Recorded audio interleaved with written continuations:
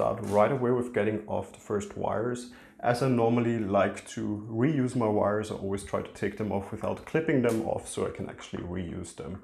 But of course you can clip them off, but I just like to save some resources. So of course, when you take it off this way, you do need to make sure that you don't damage the tree while taking it off. So clipping it off is of course easier. So if you're afraid you might damage the tree, then rather take it off by clipping it off. Otherwise, feel free to give it a try. Normally after a bit of practice, it's quite easy to take it off this way also.